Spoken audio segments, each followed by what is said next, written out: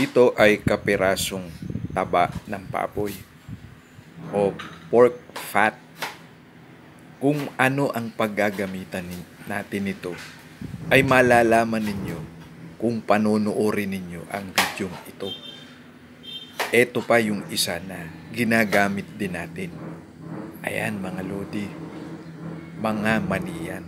Kaya dyan lang kayo, panoorin ninyo ang video ito.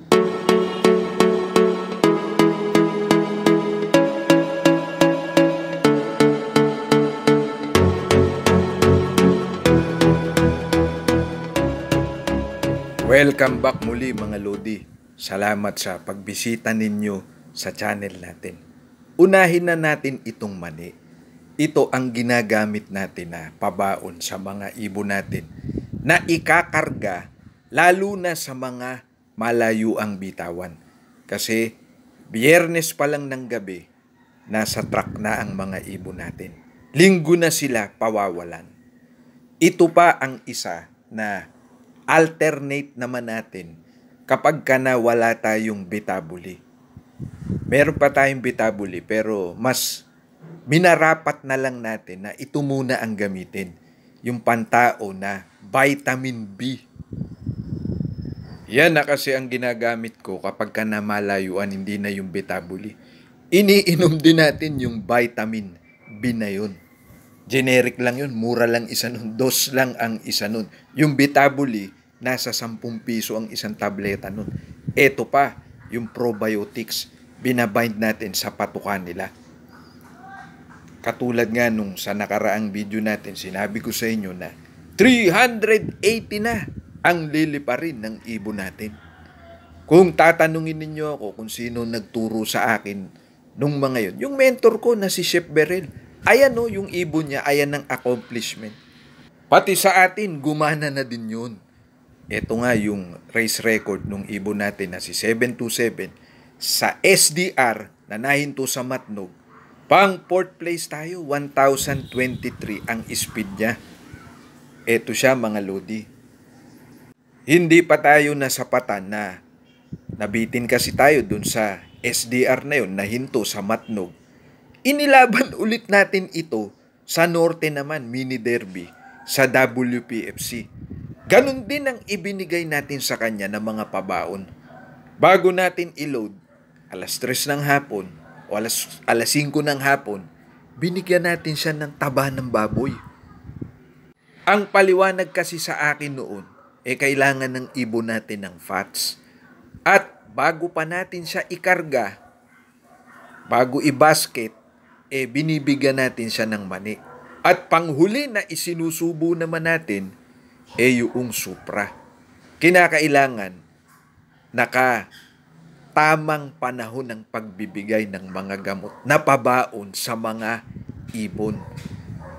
Kaya mamayang alas 3 o alas 5 ng hapon pala, e ibibigay natin yung taba kay Barats. Hindi natin isasama yung balat. Kapiraso lang mga kasukat lang halos ng dalawang pirasong mani. At yung mani, bago siya i-basket hanggat kaya niyang tumuka. Pero bibigyan muna natin siya ng supra. Yun na ang pinakahuli. Ito nga palang bitabuli, sa umaga ko ibinibigayan. Hindi pala ito bitabuli, yung vitamin B na pantao. Nasa sa inyo kung bitabuli ang ibibigay ninyo. At bandang alas 3, bibigyan ko ulit ng bitabuli. At ang pinakahuli, bago natin i-load, mga alas 6 hanggang alas 7 ng gabi, ito na ngang Supra. Ito ang race record naman sa nakaraang mini derby ng WPFC. Kamakailan lang yan. Pang 13th overall champion tayo. Bagaman hindi tayo nag-lap winner, pero dahil sa consistent na 1-1 ang speed ng ibon natin, kung kukunin nga yung speed sum nun, 1-1 mahigit. Ito yung footage ng isa sa arrival ni 727 noong mini derby na ito yung pinakapaborito kong kuha sa kanya. Medyo may partida kasi tayo sa mga taga Maynila. Eh, nasa bandang norte kasi tayo. Kaya hindi tayo nakapwesto ng maganda-ganda. Bagaman, unang-una tayo na nakakapagpaklak. Ito yung mga dati ko ding video na pinakikita ko sa inyo na nilalagyan pa natin ng dahon ng oregano. Pero ngayon, derby time na, hindi na tayo nagsasama ng oregano. Ayan lang eh, noong nagte-training pa lang sila. Nag-a-adjust tayo unti-unti ng sistema natin kapag ka na derby na. Napatunayan ko na ito mga lodi, sabi ko nga sa inyo, nung mga nakaraan, eh, yan ang ginamit kong sistema para kay 727. Kaya, nung SDR, marami ng mga tropa natin, ubos na ang ibon, pero tayo, buhay pa yung ibon natin. Kahit na newbie pa lang tayo, nakinig kasi tayo sa itinuturo ng mga mentor natin. Lalo na nung mini derby, muntik pa tayong sumabit sa top 10 kung mabilis-bilis lang tayo na nakakapag-clock. Tingnan ninyo kung gaano kalakas magsikain yung mga ibon natin. Sinisimot nila yan. Huling-huli na nilang kakainin yung mga dahon. Kaya itong sistema natin, pre-race o pre-derby, ngayon na natin aanihin ito kung sakaling gagana ito sa atin. Dalawa lang ang isinali natin. Yung isa, eh, sumablay sa kanya. Naawit na yung anak ni 727. Hindi na siya nakawit sa first lap pa lang dahil sa malayo yung pagitan ng last training niya sa derby yun. Dito na tayo sa loft natin. Kuha ko lang ito kahapon, araw ng Webes, nung magpa-loft fly tayo. Medyo may improvement na sa pagronda ng mga ibon natin dahil sa binibigyan din natin sila nung vitamins na para kay Barats. Nababatak sila. Kasi kapag ka na si Barats lang, eh, da- pagdapo ng mga kasama niya, dumadapo din yung yung mga ka-loftmate niya. Kaya hindi gaanong nababatak si Barats. Hindi nga tayo nagmimitos gaya nga nung sinasabi ko sa inyo.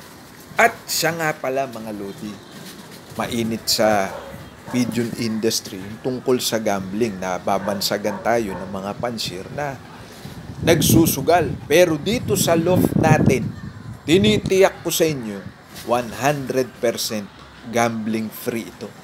Hindi tayo sumasali ng mga side bet, mga pooling, kahit yung fundraise, hindi na rin tayo sumali dahil baka mabansagan nga tayo na gano'n.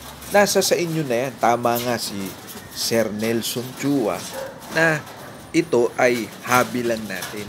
Walang iniwan ito sa basketball. Sumali ka ng liga, merong kota. Ganun din sa atin, merong entry. Pero, meron ding premyo yun kung mananalo kayo. Ganun din sa basketball. Kailan pumapasok ang sugal? Kapag ka na tumaya kayo o nagpustahan kayo. Kaya itong pag-aalaga natin ng mga ibon, hobby ito.